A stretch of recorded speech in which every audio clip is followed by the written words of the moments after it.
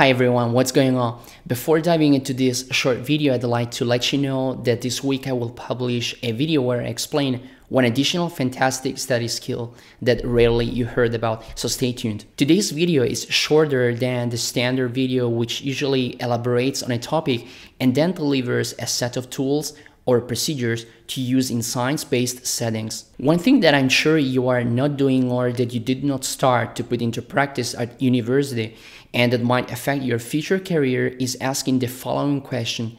How does this particular degree program might help me achieve the desired final result? Attention, this is a key idea, so let me explain you why. I consider the desired result an end product you can hold in your hands, something tangible that you desire strongly. So before embarking on a degree program or even during your career as a student, it doesn't matter if you study mathematics, engineering, physics, or any other science-based field, you have to pinpoint precisely this end product, which is not to say I want to become a great mathematician, I want to become a great physicist like Enrico Fermi, or I want to work at NASA as an engineer and make a lot of money. And the reason is very simple because this is a blank statement leading you nowhere. A tangible end product sounds more or less like this I want to be able to build an app that makes facial recognition with 100% accuracy and zero cost by the next four years. Or I want to become a math teacher and introduce a new method that teaches students how to solve hard contest problems quickly. Or I want to become an aerospace engineer and introduce a new concept, a wing,